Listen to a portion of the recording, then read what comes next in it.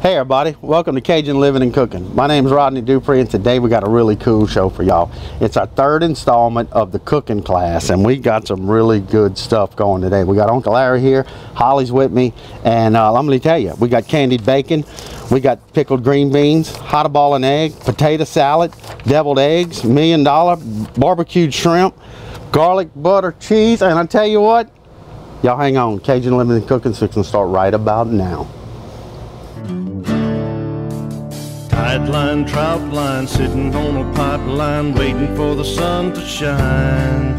Snap beans, red beans, cornbread, and mustard greens. That's how we live, and it sure feels fine. Well, you can't change us, that's the way we know.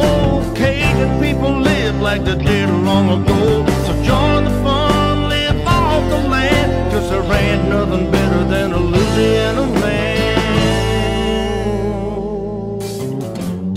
Line, trap line, sitting on a pipeline, waiting for the sun to shine. Snap beans, red beans, cornbread, mustard greens, that's how we live, and it sure feels fine. You're watching Cajun Living Cooking. All right, y'all, welcome back. And today with me, I have my trusty associate here from the cooking class. Holly Pilgrim, and I'm from Gonzales. And we have Uncle Larry, which everybody knows him from the seasoning. Uncle Larry, you gonna cook us gumbo today? I'm gonna cook a gumbo. Yeah, heck yeah. I just showed up. You said, I said, you got that cooking class on. I want to learn how to cook, so I'm gonna do it today. I want to learn on this show. Sounds good. Sounds good. What you cooking? So we're actually gonna do. We're gonna. We talked about doing two different gumbos. The traditional one, which I'm gonna do a virtual traditional gumbo, because the traditional gumbo takes two, three, four hours. All right. But we're also gonna do my ready set gumbo. It's a concentrated product. Very good. That's the one we're gonna do, and that's gonna uh, takes 30 minutes, 35 minutes at tops, okay? But that's the one we're gonna do. The third one, I'm just gonna talk about if you for people that want the, the recipe to cook it, my, my ready set gumbo. If they want to cook it from scratch, I'm gonna show you how to do that too. So, Cool, cool, cool. So what do we do first? so let's just do the virtual one first. Oh, we're gonna let's go get this started. How you gonna you're gonna stir if you don't mind? Um, what I'm gonna do, I'm gonna put that there, a little bit of oil. I'll tell you about a quarter cup of oil, but you're gonna skim that off after. But that's enough to wet the bottom to keep to keep the chicken and sausage from, from sticking. And I'm not gonna, I will not talk about one specific uh, sausage in this area because they got so many great sausages around here, right? That's a smart idea. That, so you don't do that to make one happy and make 40 of them mad. So we're not gonna do that.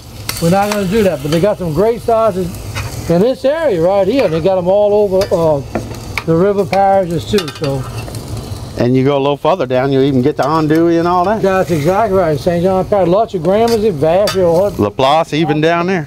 So there we go. We got the meat up in there, the, the sausage and the chicken. So we got that going. Takes about 10 minutes, all right, to brown the chicken. Then we're gonna add the base. It's a concentrated product. So we're gonna put the base in there.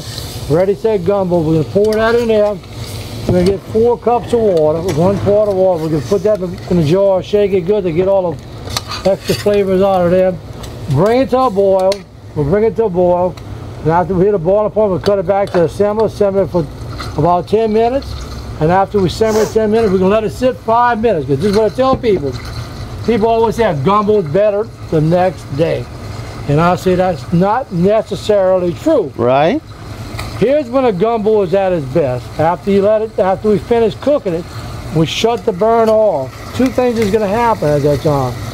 One, the sausage and the chicken is gonna start sinking to the bottom, and as it sinks to the bottom, it's gonna absorb that flavor of the, of the gumbo. Ah, Second thing that's gonna happen, the oil is gonna come to the top, and you don't want the oil in there, so you're gonna skim the oil off and discard that, and at that time, your gumbo is ready. 35 minutes versus a, two to three hour gumbo. you do all the work for them. All the work is done. Just get it, he, get it uh, all over Ascension Parish, Santa Moore, um, Salones, Two Roads, Murray's, uh, uh, Fisherman One Stop. In Maurepas, you got it at uh, Brian's. Uh, you got it at Decaro's Old Time Store, Junior's Meat Market, and French Settlement. Uh, Port Vincent, Wow. the Village Market, and then Ralph Market right here, right here, and then one of Delta One. Sounds like anybody that's got a register selling your gumbo. Th- That's exactly right. Right now, it's not quite gumbo season, but guess what? When it hits, It's a gumbo coming. season, It's gonna take off. So I know that. And how you're gonna be the judge? You're gonna give us your honest opinion.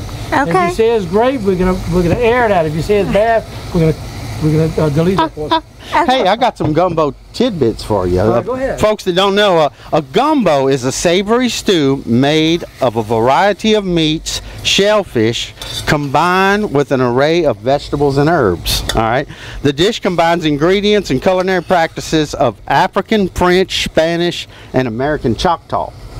Uh, they were first described in 1802 in various cookbooks, uh, gained wide popularity in 1970 when added to the menu in the dining room at the United States Senate. In the 1980s, the popularity from Chef Prudhomme is what created further interest in the gumbo. And uh, I want to tell some folks there's three ways to thicken a gumbo okra, filé, and roux. A lot of folks will use I all three even as a matter of fact. And here's my last good thing for you. This is cool stuff. In the acadiana parishes uh, the louisiana gumbo is a central feature of mardi gras celebrations. Um, the men go to from house to house and ask for gumbo ingredients. And then they all meet at a local spot. And what they do the men do all the gumbo cooking. And when it's ready they eat and drink and dance until midnight and that's when lent starts right there Good deal. That's a good information. But I, while you're talking about the Acadiana parishes, the the Cajun capital of the world, I got something I want to add to that. In 1804, right after the Louisiana Purchase, Governor Claiborne from New Orleans took what he called the Orleans Parish. He took Ascension and St. James, and he combined it. We stayed like that for three years. mm-hmm And you know what our name was? Acadia, because everybody spoke French. Everybody Oh. spoke English. So we stayed at Acadia Parish for three years. That is exactly the truth, all right? And I found that in a book called Cabanocey about St. James Parish. And, all right, here's my, my product, though. When you hit that, that pop, you know it's got the seal. You pour the base in there. Miss Holly, you can do the stirring, and I'm going to take the water, fill this jar with four cups of water.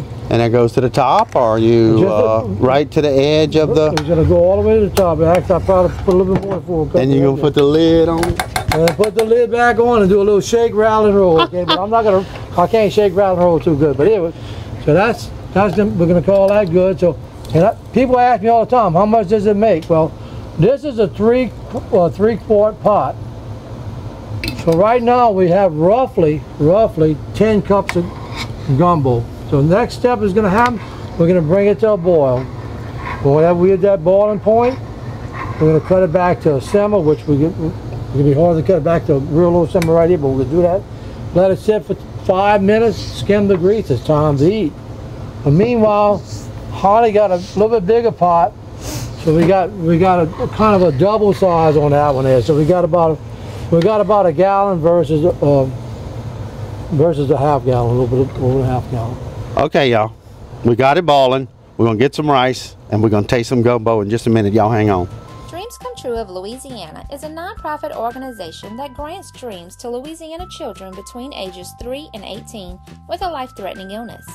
Dreams Come True was founded in 1982 by seven families in Denham Springs with a goal of providing dreams to children. All funding was initially provided by those families. Dreams Come True is proud to have one paid employee and provides dreams throughout the state of Louisiana.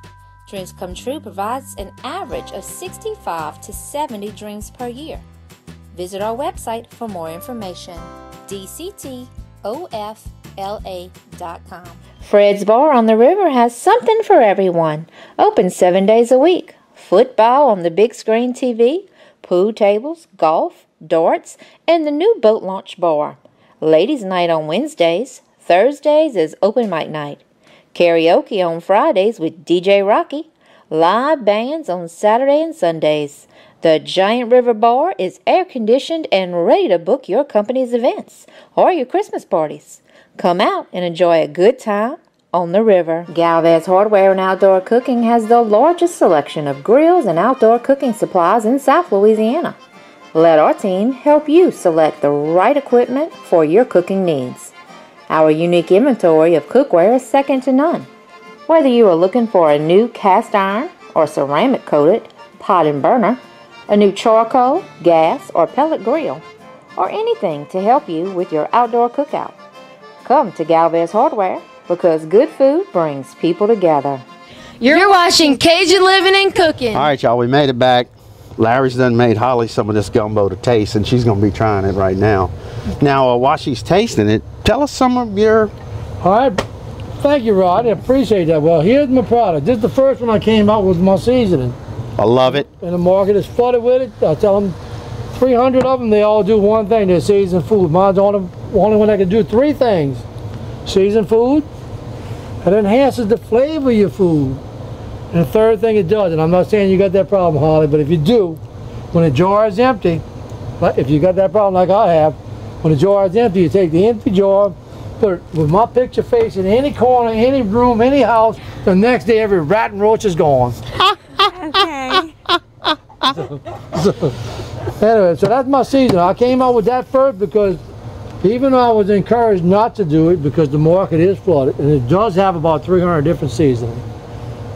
I said I need this because that's the foundation to these products, okay? So my next product that came out was my Ready Set, I mean my stew and a few. Love it. my best seller right now. Any kind of stew you could dream of, you can make with this, plus a multitude of other stuff, okay? So you can make any kind of stew you could think of with this. Crawfish stew, potato stew, shrimp stew, ground meat, you name it. And uh, just last year, September, I came up with this, the red, concentrated, ready set gumbo, primarily used for chicken gumbo, but you could use it for seafood. So that came out in September. This didn't come out till December, so I basically missed. I didn't know you had that one. That one there came out in December, it was trying to under the radar because I really miss gumbo And the name of it is. Ready Set Okra Gumbo. Okay, Ready Set Okra Gumbo, primarily used for seafood, but if you like okra in your chicken gumbo, you can use it for chicken gumbo. So if you want to mix and match, you can mix and match. If you want to fix a broken gumbo, you can fix it with this stuff, okay? So you can do all of that. And I'm happy to report that this week, we talked about this great chef Paul Prudhomme. Yes. Well, his his company is the one that uh, co-packed my product. So they just got my my brown sugar dry rub just came out Wow.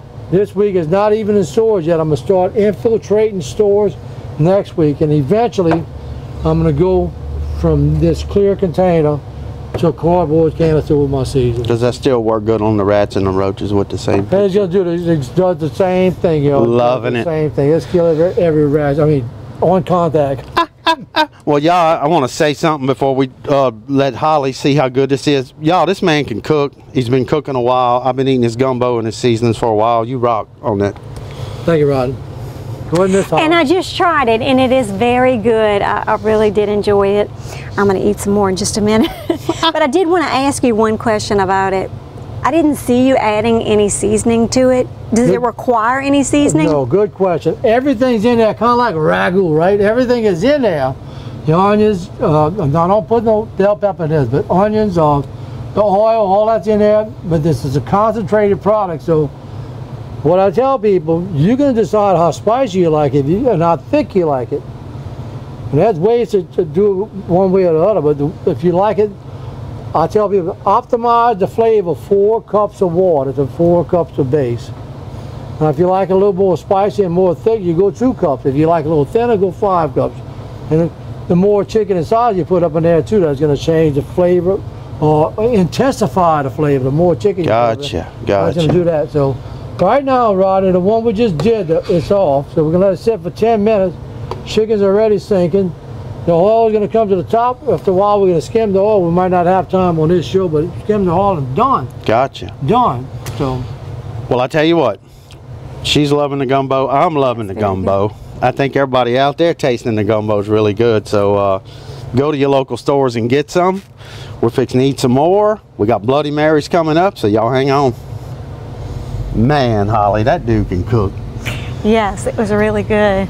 You want to go run out and get some of his products now? Yes, I do. Well, with his good products, we've created some Bloody Mary. And uh, might have got a little fancy with this one. Some chicken wing. Name some of those on there. Um, some okra, corn, I don't, uh, olives, some chicken, some bacon, some candy, mushrooms, with all kind of stuff. Yeah, and there's Bloody Mary contests all over the world, so they can get even more elaborate than that. I've seen lobster claws and hamburgers and whole chickens and all kind of stuff. But Really? for what we doing, uh, I've got this candied bacon recipe, so I put it in there. So check out, a- and it's very easy, y'all. It's a pound of thick cut bacon. We put maple syrup on it, brown sugar, and some cracked pepper on it, and you put it in the oven, and it is so easy. It is so easy, and you can see the recipe on our website. But uh, that's what creates this. Here's one right here. Candied. Yeah, Oh, life's good when you got that. yeah. And for the sake of it, I did some refrigerator green beans. So it's overnight. You can have them overnight and very easy too. It's two cups green beans, cup of vinegar, cup of water, sugar, pickling spice, and a little bit of mustard seed. And um, they come out pretty good. I, I'm gonna try them the next day and the next day and the next day. But there's no alcohol or anything in them. But uh, something neat to go on the green bean on the Bloody Mary. Mm -hmm. We did make a green Bloody Mary. Now I used salsa, tomatillas, and I'm gonna have to say, I'm working on that. I'm working on it. So a green Bloody Mary can't be that bloody, so it's a greeny Mary? I don't know. What about a blended frog, Mary? Look at there, blended frog Mary. Maybe you would like it better like that, but uh, I tell you what, nothing but good friends and good food today. Yeah. All right, we got some other cool stuff coming up. We're going to move into the egg and we're going to do some potato salad, some deviled egg, and maybe even something else. So y'all hang on, it's fixing to get better. All right, Holly, look like everybody out there is loving them potato salad and deviled eggs. Yeah. I'm sure they are. Something I want to get to is our sponsors for the show. And we have Diaz Tire, which have two locations in Gonzales and Prairieville. They can fix you up. Go talk to Derek, Ed, they'll pick you up. Leader's Fried Chicken, best chicken in the world. See Joey. And uh, they always have neat specials over there too. Um, I am really, really fond of the chicken gizzards. And they're sponsoring. Thank y'all. And also, Capital City Produce brings us the produce. Quality produce too. Tons of produce. Tons of produce. Yeah. And, and that's what's really cool. All right, y'all.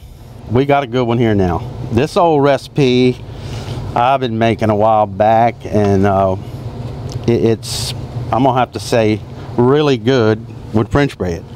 But it's a very easy recipe. So I'm to turn your fire up a little bit, Holly.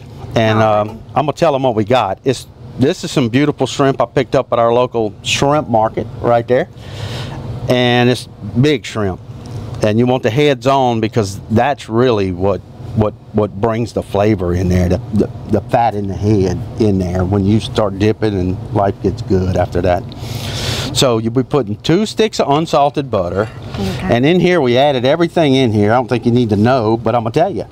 It's two tablespoons of Worcestershire, two tablespoons of hot sauce, one tablespoon of minced garlic, one and a half tablespoons of Cajun seasoning, a half a teaspoon of black pepper, four bay leaves, and a sprig of thyme.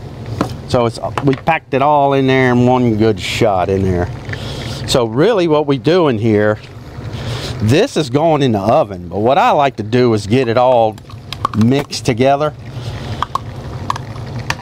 You could do it in this pan, you know, you could do it in this pan, but once you heating that all together in there in a good minute or so, and once you getting that all heated in there, you can add the shrimp.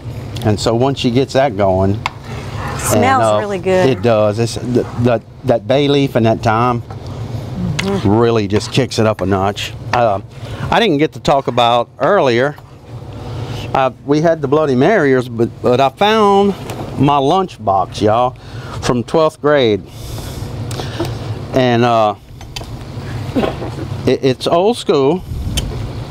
lunchbox. I, I never had room for a sandwich or anything in there, but um, I never made it the first hour either. But that's another story. so I got to was throw that in thinking that there was a big lunchbox. Well, if you want some, you can take those out and put po' boys in there too, where Yeah. Where those are. Yeah. So I'm gonna pour them in there for you. I just turned it down. But Turn go it. All right. And basically, you just combine and and because this is going into the oven, and once it goes into the oven, it's 15 minutes. And you can go a little longer, depending on your oven. You can go 20, 20. It's going to turn opaque pink, Mm-hmm. and you'll know then. But let it go a little longer. You don't want to go 30 minutes. I don't think you need to be that long and and mess the shrimp up. But when you take it out, you will squeeze the juice of one lemon and the green onions. And through the power of TV, we made some earlier. Let's see what we got here. Look at that. Looking good. Now, if you had a piece of bread to dip in there right now, you thinking about it? Okay. All right.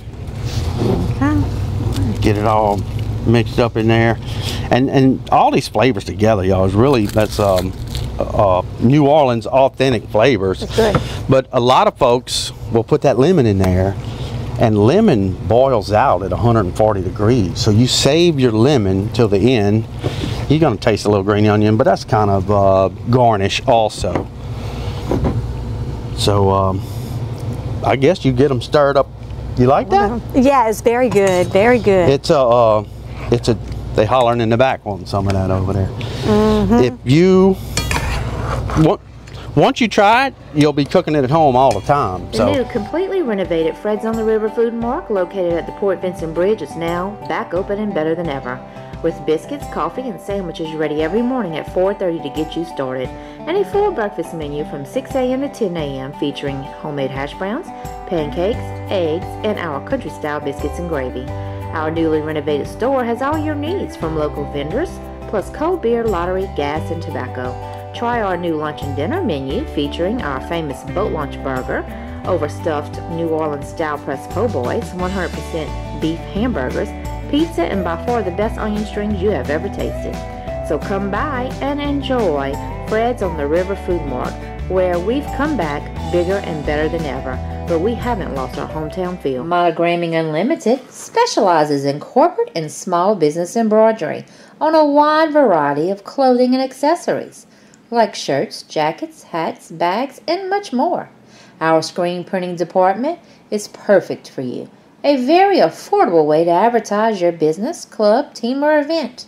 We also handle business cards, promotional items like pins and huggies, trophies, medals, plaques, banners, and signs. No job is too big or too small. Call or come by today. Portia's Sausage, located in French Settlement, is bringing back that old country smokehouse flavor and customer service. This third generation family, dating back to 1946, has all your favorites hog cracklings, beef jerky, head cheese, and smoked sausage. Like the old days of Donald Porsche, our on site butcher has all your specialties smoked tasso and hocks, andouille, meat sticks, and Uncle D's Bayou Blend. Come and experience Portia's sausage. It's a wonderful thing. Crawfish season is coming soon. It's time to move into the 21st century with the new high performance cookers and super boilers.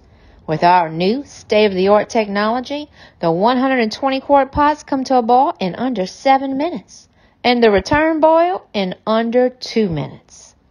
This fast return boil is key to perfectly cooked crawfish, all while using far less propane. Now, no more mushy crawfish using the old outdated slow boilers. You're watching Cajun Living and Cooking. all right, Holly, they're starting to get full out there. We got to get them some of this easy cheesy garlic bread. They uh, about to slob up all the butter that's out there as a matter of fact. All right this is something that we've done before. Hadn't done it in a while. It's easy cheesy garlic bread and while she starts mixing the first is a stick of butter at room temperature. You have six cloves of garlic minced and you have two tablespoons of fresh chopped parsley which uh, chopping parsley is you got to sit there and keep turning chopping it trying to get the stem. Do you need that stem taken off the stem? Chop fresh parsley will mess you up in a second. But what we're doing she's going to slather this on the bread. And at that point this is the good part right here. It is one and a half cups of finely shredded mozzarella and a half cup of parmesan and then you mix the dried parsley in there and I'm gonna tell you what it ends up being something really cool. As a matter of fact through the power of TV we made some. Look at here. That is easy cheesy garlic bread. So while you're mixing that up we're going to talk a few seconds here about a couple little fun facts I always got to give you every time. Alrighty. uh, you know there's more protein in broccoli than in a steak Oh God. and, and you wouldn't think that you know. Apples give you more energy than coffee. So in That's the middle of the day when you think you need another cup of coffee grab that old apple that the teacher gave you and chew on that. Um, you know the stickers that come on your produce are edible. They, they won't harm you at all. Now they don't recommend you go and eat the stickers you know it's not gonna help you lose weight or nothing eating the stickers but it's all right if you eat one in the 14th century the aztecs and the mayans used chocolate as currency they didn't even have real the, the, the cocoa beans were the were the thing to have back then not gold and diamonds or or benjamin franklin's I think I'd like that kind of. Uh, ketchup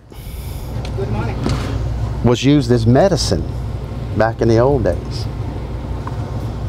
And they're telling you, and, and as we done this one earlier, they say and spread it to the end, spread it to the end. So the people who get the little crust side get some cheese on there too.